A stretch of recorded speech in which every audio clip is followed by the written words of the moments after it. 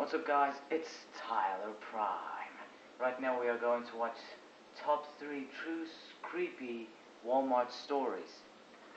Now, this is the one I've been wanting to do for a while. Mom, no, until it came, until Gator Martin started. So, yeah. So let's watch this. It's gonna be something different for the channel. It's my cat.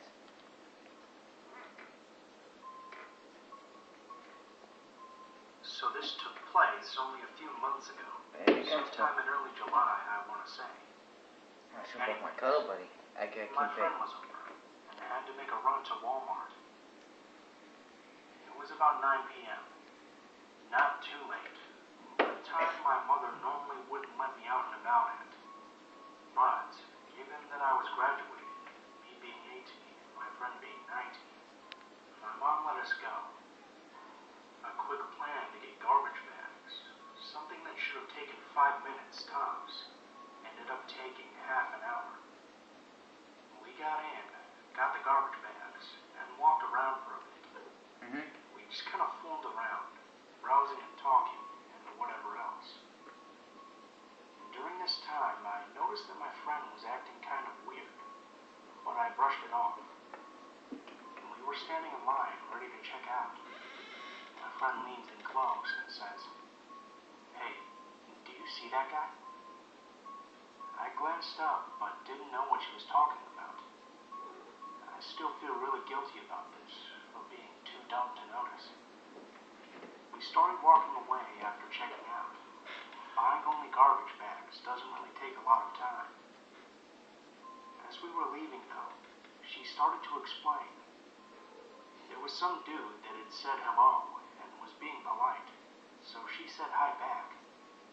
We then saw him at the checkout, too. Both of us being paranoid naturally, Excuse me. we thought something might be up about it. When We get in our car, we see him in the parking lot again. No big deal yet, I suppose. Deciding to play it safe, we decided to wait until he left. Turns out, he had a couple of guys with him. Nope. They pulled over on our left, Nope. at us through the car windows. Nope. It was nearly dead silent in the car, but I swear you could hear our hearts beating frantically. Nope. Even typing this up, I still get panic. And the car of guys quickly sped over, parking next to us. My friend immediately floored the car, pulling in reverse and speeding out of the parking lot. But the guys followed. Nope. We honestly thought we were going to die, whether it be from going 80 miles per hour or by a group of creepy dudes. We quickly sped out of there, making a turn on some random road Random. the car of guys behind us at all times, going as fast as we were. At I would've been in a car calling the police. waved before pulling into a church parking lot ahead and turning around to get behind us again. At this point, we're still going 80 in a 35 and getting closer to my house. Neither of us wanted to lead the guys to our homes, so we thought fast. Near my house, there's a little store where you can buy cigarettes, alcohol, and candy. Pretty much a gas station, without any gas pumps. We hauled ass to the back of the store, parking and moving to head in through the back. Huh? One of the workers was outside in the back and approached us. That's good. What we had to say, and had time to say, was, We're being stalked. Luckily, the guy understood exactly and started to go up front. We peeked around the corner, and lo and behold, the group of guys were there around the front. My friend and I proceeded to sneak through the back. Now, in the back on the left side is the deli station, and the right side is where the alcohol is. My friend ducked into the deli station, and I hid out on the right side. There was a female worker in the deli, and my friend made a signal for her to be quiet. The female worker pretended we weren't there at all. After a couple of minutes pass, we hear the front door open. I peek around the corner, racing. Why don't you just drive off? Finally, a few more minutes. That that was me, and I knew they were in front. While the guy was stalling them, I would have just gone in my car and drive off back home. Um, they don't know who I am. I'll just quickly drive as fast as I can home. Fast. And a guy worker from before comes into the back and tells us that the guys are finally gone. Good. He chewed them out. Oddly enough, they flat out admitted to stalking us. When the guy worker pretended to be family, they quickly backed off, claiming they were only getting beer. Yeah, right. Learned from the female worker that those guys are regulars and are always going on about creepy and sexist crap in Spanish, thinking she doesn't know. My friend and I ended up hanging out for a little bit, just to make sure the guys weren't hanging around on a street corner. Totally grateful Ooh. to the guy and girl working there, because they were in complete understanding and worried about us. Okay, number two. Yeah, boy. I live in a military town, so everyone here is either in the military like my husband and or they're the locals. Backwoods redneck type you find near the Bible Belt. Most of the general population is pretty poor.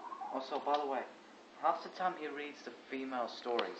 Doesn't he have like fem- a female friend he can uh, reads the female stories with? Because that would make a lot of sense. Because half the time he's reading what the female is doing half the time. That's what I'm just saying. I'm just saying. A lot of homeless. A lot of, well, there's not really any nice way to put it. Lots of white trash of folk. I live near a Walmart that I usually go shopping at. During the day, it's filled with your usual Walmart shoppers. At night, however, it's usually pretty full of weirdos. Some normal people are there, of course, just trying to grab some last minute groceries or medicine or whatever. But some people there just don't have anywhere else to be, or they're high or drunk. And Walmart is open 24 7. So they just come hang Sorry, let's fix that. damn arcade or something. Anyway, it was like 11.30 at night, and I realized my daughter was out of formula. I have to make her bottles for the day every morning for daycare, so I had to go get the formula before morning. I told my husband I'd be back in a few minutes and drove down the road. With the baby on it, I grabbed her formula Ow. and stopped to look at dress for her. I was looking Really? at the baby clothes when I saw someone under the corner of my eye. Felt the hairs on my arm stand up. Nope. I glanced at him and then did a double take. This man was standing there, just staring at me. Nope. He didn't even seem bothered by the fact that I had noticed him. I did this weird, nervous fake laugh and said something like, Oh, these are so cute, huh? He didn't say anything, just kind of smirked and kept staring. Nope. The dude was like a few inches taller than me, maybe five nine, white with long hair, and he looked either homeless or severely down on his luck. He had one hand on the crotch of his pants, kind of nonchalantly, like it just rested there. He was maybe six feet away from me. I started to get nervous and felt my palms start sweating. Uh, I said okay. something dumb about having a good night and just kind of fast walked away. But in to get away from him, I turned left toward the back of the store. I decided to grab a 12 pack of Coke Zero in addition to the formula, and then decided to get out of Really? You didn't decide to leave first? cars, so I couldn't really carry much more. On my way back to the front of the store, I heard him shuffling behind me, keeping pace with my speed walking. I got into the 10 items or less line. He got in the line. He had no items, but pulled a candy bar off the shelf and set it on the counter behind my stuff. At this point, I could smell it, and he stank like body odor and stale beef. I turned my head away from him and tried to move a little closer to the woman in front of me. He moved closer too. Suddenly, I felt something brush against my left butt cheek. No. I turned towards him and sharply said, Hey! He mumbled an apology. Keep in mind, I'm wearing jeans and a I baggy first thought she said against her neck, then I realized what she said. It like crap, trying to get. I started Luckily, it's just a picture. items. Two seconds later, the man pinched my other sorry.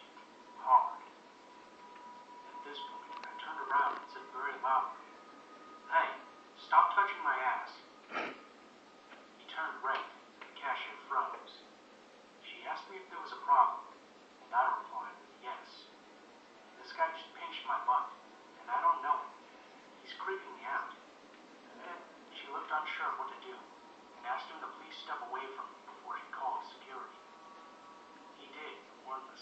I didn't notice and paid for my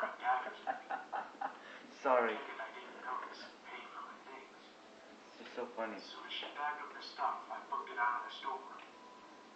I got maybe ten steps into the parking lot. when I heard the doors open behind me. Panicked. Oh. I turned and saw him marching directly towards me. I bolted. My car was two lanes away, and I yanked out my keys and I ran. I could hear him behind me, grunting and panting. Oh boy. Felt adrenaline kick in, tears in my eyes. I ran swinging the bag case flung myself into the driver's seat, and turned the key in the ignition before the door even shut. I threw it into reverse without looking, just as he slammed his body onto the hood of my car and yelled something. I peeled out of the lot at almost 30 miles an hour, and he flew off my hood and into the ground. Like. I drove the mile home going well over the limit, breathing hard and feeling like I was going to hyperventilate. When I got home, I still had chills. I raced inside and locked the door. My husband wanted to go find him and beat his ass. His solution for pretty much everything. But I just wanted to shut the windows and crawl into bed. I don't know what makes people do the things they do. Don't they realize how terrifying they come off as? I don't even want to leave my house without a mace and taser anymore. You know, uh, it's like one more story, so might as well. Really? I was up in the city. Number In three. approximately a five mile radius of my house, there's at least three major grocery stores, one of which is a Walmart. Jeez, like that looks creepy. Being a 16 year old girl, I visit Walmart regularly if I need notebooks or something for school, or if I want to browse makeup and things of that sort. I've never been uncomfortable going shopping by myself. And I actually enjoy it, I've never had any bad experiences being on my own. Until one day, Well, now. months back.